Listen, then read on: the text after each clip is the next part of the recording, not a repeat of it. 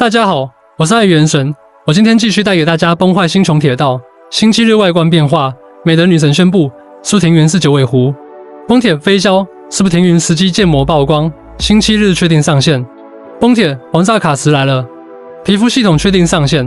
冰封牢新例会放出，星期日形象是已经早早的出现在网友们视线当中，剧情上面也有相当一部分占比，只是一直没有核实进卡池消息，而刚刚得到新的消息。星期日净池形象会有所变化，下半身整体基本没有变化，深蓝色长裤和与旧模型同款的鞋子，变化主要在上半身，身着一件短袖大衣，大衣左半部分是白色，夹杂着金色花纹，右半部分是蓝色，夹杂着白色花纹，戴着一双黑色长手套，身后有一条短的金色披风，左胸前衣领上有一枚徽章。二点五卡池新角色例会，我们需要等到十六、十七号。八九不离十，应该就是飞霄加灵莎两位。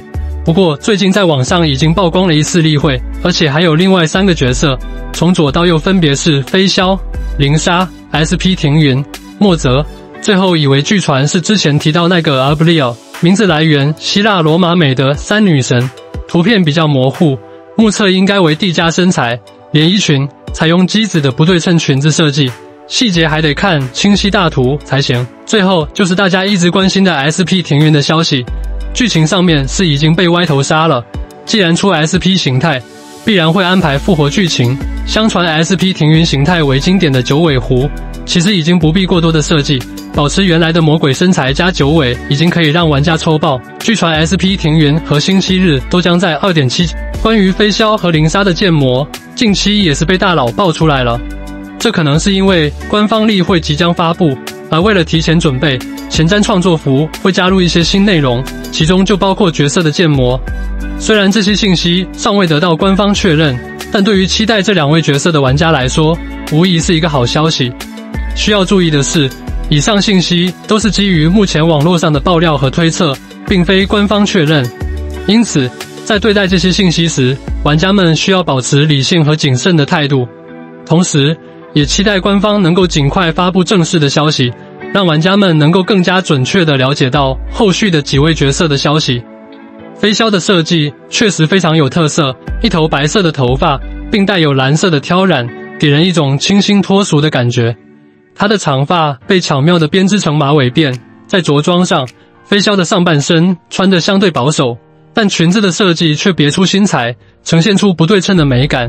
这样的设计既体现了他的个性，又不失优雅。他的一条腿上装饰着两个独特的腿环，这一细节不仅彰显了他的独特品味，也为他的整体造型增添了一丝神秘感。脚下搭配的是一双黑色长靴，这样的选择既符合他的整体风格，又能突出他的修长腿部线条，使他在视觉上显得更加高挑。灵莎的角色建模在设计上似乎受到了崩山中某些角色的启发，非常有弹珠和苍玄的风格。它没有和弹珠一样是蛇尾，这一点与其他一些蛇形或半蛇形态的角色区分开来，给人一种全新的视觉体验。灵莎的双腿设计较为大胆，部分裸露，这种设计往往能凸显角色的活力和性感。SP 庭云的新形态确实令人眼前一亮。其独特的设计细节，充分展示了美工团队的匠心独运。四条粉白色的狐狸尾巴，不仅增添了角色的神秘感，也让整体形象更加生动活泼。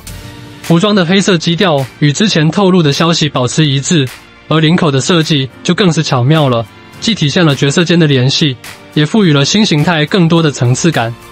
可以说，近期新帖中比较关心的就是关于皮肤系统的消息。主要三月七都以为首款皮肤给到他，但前天消息中确定了首款皮肤给到了卡夫卡，这让不少玩家更加确信了一点，那就是大佬之前说的皮肤系统要上线了。据说在三点一版本左右上线，也就是二周年之后，这一点可信度还是比较高。然后就是后续角色的爆料消息，流萤售后角色击破奶灵莎是少女体型，外观黑长发。外观和崩三中的那位较为类似，不过对于这么一位五星角色，都比较关心能让流萤伤害提升到何种程度。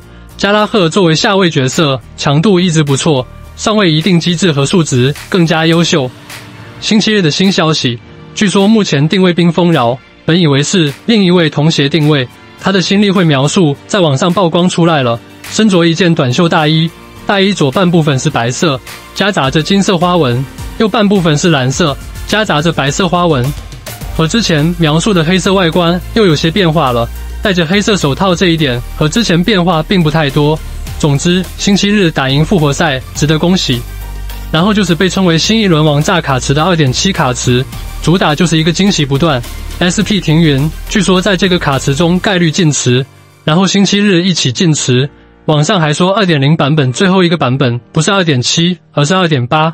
反正能看到停云登场就值得。外观上尾巴也多了起来，暂定四个尾巴。玩家表示，干脆搞成九尾反而经典。希望各位开拓者在后续版本中能玩得愉快，后续角色强度不会低。